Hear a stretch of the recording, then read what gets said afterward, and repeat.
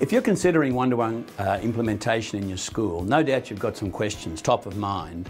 And we put together a collection of uh, responses and feedback from other school leaders around the world about what's been happening in their schools. You might be thinking, what's going to be the impact in our classrooms? What are the implications for teaching and learning? And most importantly, what does it now make possible for students and teachers that they could not do before?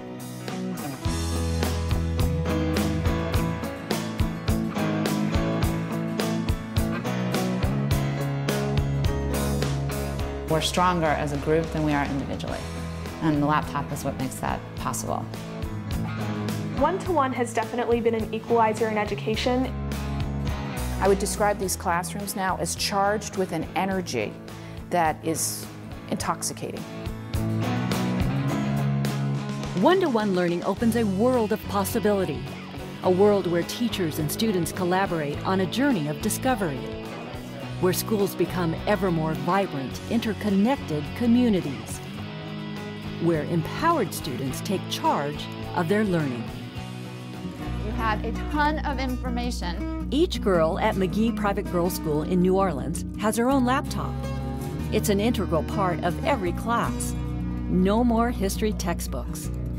Today, they're collectively accessing databanks on political contributions. This is where the New York Times and the Washington Post are getting their information from. Having like real world examples, like straight from the internet, like real time, and that really enhances the learning experience.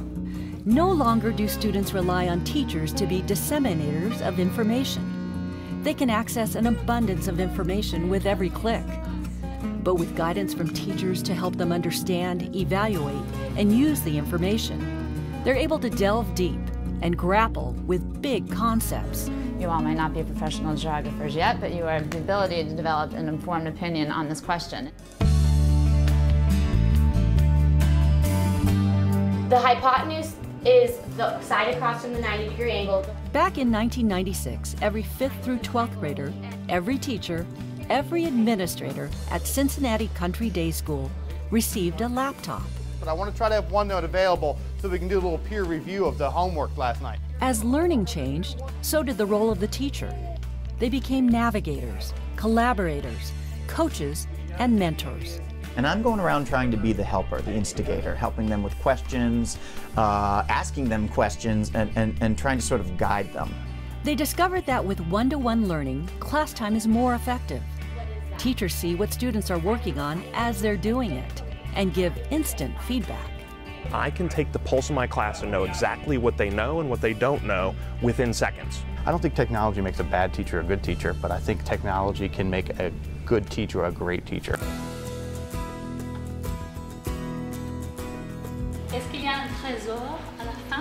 Students at Carrollton School of the Sacred Heart in Miami prepare for a future we can't even fathom yet. Well, I think also it's just the sky, right? Like the They take for granted that in English class they can make online annotations on an Emily Dickinson poem. And the whole class shares and analyzes those ideas. That's just something else for you to think about as you're coming up with your independent critical thought on this poem. Aren't we all truly digital citizens? Don't we owe it to our young people to try to help them navigate this world with informed skills? Headmistress Suzanne Cook says she became a pioneer in championing one to one learning because she realized the importance of preparing students for their future, a future we can only glimpse. Every day we walk into a classroom or a school building and we see children and young people. We are embracing the future. What we want to do is to create or to help in the creation and the formation of confident, compassionate digital citizens in whose hands and uh, minds are our future. Primary sources and secondary sources. And it's not just students at small private schools who are experiencing the difference. Students at Kent School District, one of the largest in Washington state, are selected for Tech Academy by lottery. They put a challenge on you and they give you a lot of homework. So my experience with the Tech Academy, I think it's just fun and awesome. Where there's ethnic and socioeconomic diversity, teachers say one-to-one -one learning is an equalizer. Kids are more engaged, which leads to amazing leaps. With technology, I'm able to put my assignments into more like bigger scale and take them to a different level. And that's when we see really powerful things happen for kids because they care and they're interested and they're excited. And that's when we start getting parent phone calls like, my student is spending so much time on, on schoolwork, what have you done? What's more, results show up in more traditional measures too, such as standardized test scores. The hard evidence really was very clear, is that, that students that had 24-7 access, because they were so engaged in their learning, outperformed their peers in every single content area. Um, and not just slightly outperformed, um, significantly outperformed.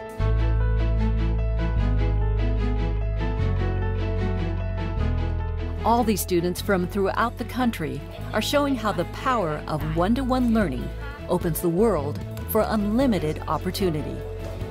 With vision and commitment, each of these schools makes that possible. This is always about learning. I cannot imagine school without technology at all.